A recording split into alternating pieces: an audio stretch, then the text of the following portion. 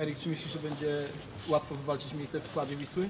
Będziesz konkurował z Peterem Singlarem o miejsce w drużynie. Jak Tak. myślisz, jak to się To, potoczy? to jest futbal, co zrobimy. E, Będziemy, Peter jest super chlapik, chło- chłopik.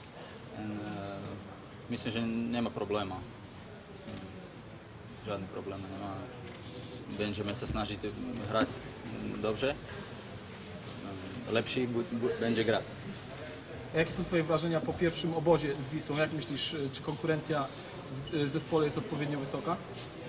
Jest konkurencja jest wysoka, mm, mnóstwo. Team jest bardzo, bardzo dobrzy. Bardzo dobrzy. Mm.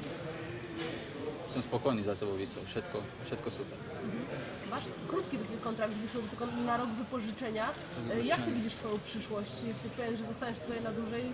Tak, ja ufam um, jak po polsku. I hope that Mam Mám nadzieję. Dewisłę z mi bude daži ten, ten rok, że bude, będzie grawać. And, e, a potom podpíšeme na dvo, dva roky op, opcia a ja bu, budem rád, keď, keď budem vo Vysle a budem grať dobre, bude, bude dobrze.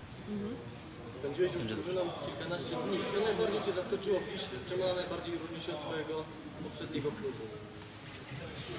Tak, e, veľa kibicov, veľa kibicov písalo, e, e,